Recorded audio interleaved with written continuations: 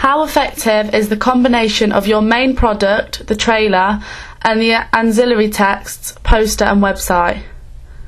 From the very beginning of my project, as my planning developed and I analysed two different film products, it made me realise that the consistency between the three products is very important.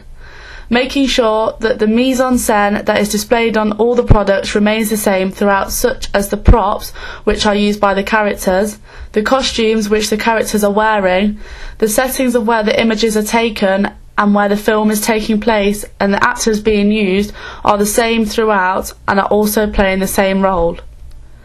Another key feature which needs to be kept consistent throughout is the institutional information that is displayed on all of the products and making sure that the same release date has been on the poster, website and trailer, making sure that it is obvious to the audience that the three products are from the same brand an effective and easy way of doing this is making sure that the house style is kept consistent throughout the making of all three of the products.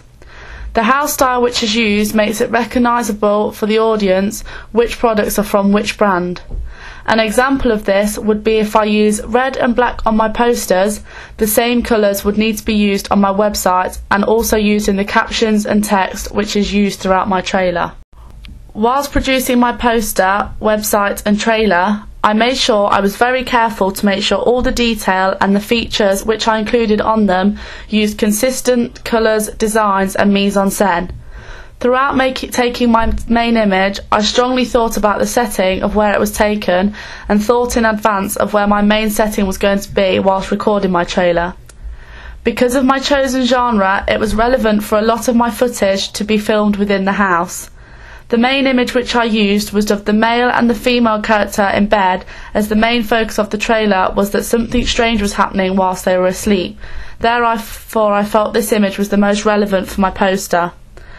This main image was also used on my website to display consistency, and this also clearly displays that the poster and website are from the same brand. The room which I took my main image was the room which I mainly focused on throughout my entire trailer, which is why they both link. This was the bedroom. Throughout the trailer, both the characters were dressed in normal clothes which would be expected to wear when they are in the house.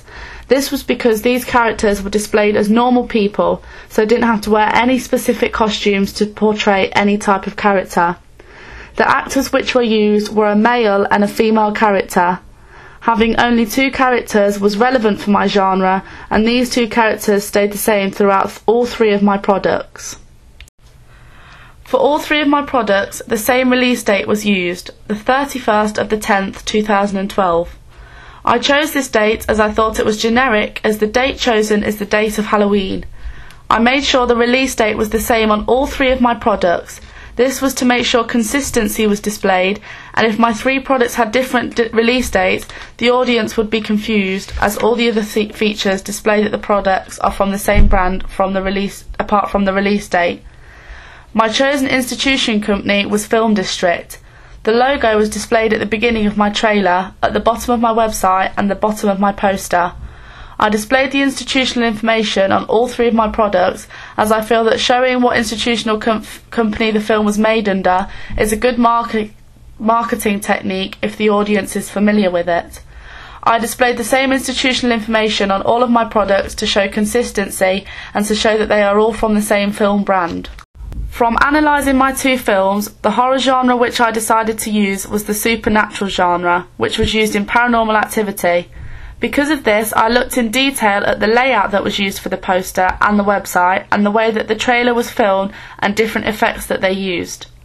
As I strongly followed what was used in paranormal activity, I feel that this helped the consistency that was used in my trailer, poster and website. The house style which I used was the colours red, white and black. These are also the colours which are displayed on the Paranormal Activity poster and website. I also used the red, black and white within my trailer and displayed the same title throughout all three of my products as the title, The Concealed Truth, was included at the end of the trailer. This was displayed in the same font, colour and size that it was displayed on my website and poster. The typography which I used was also kept consistent and the fonts which I used were also kept the same throughout.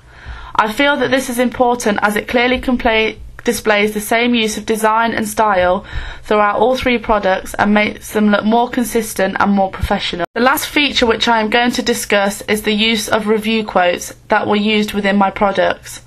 I only used review quotes within my trailer and my poster and used two taglines which were used on my website. The review quotes which I used on my poster were not the same as the ones which were used in my trailer. This is, beca- this is because the quotes which I used within my trailer were shorter, as the audience were not given a long amount of time to read what was on the screen, and I think in my trailer the shorter quotes looked more effective.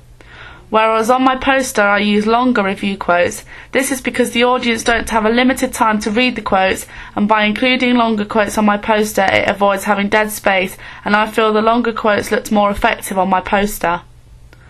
Although I didn't use the same review quotes on all three of my products, I used the same typography and font, so it still made all of the quotes look consistent and it was obvious to the audience that that, that were different and it was also obvious to the audience that they were from the same film promotion products.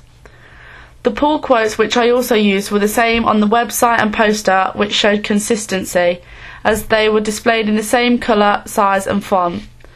Although the pull quotes which I used in my trailer were used within my montage editing, so I used pull quotes which were relevant to be used. Although my review quotes and pull quotes didn't match throughout all three of my products, consistency was still shown throughout because I still made sure that they were all consistent with the house style and they were all relevant within the right parts of the products.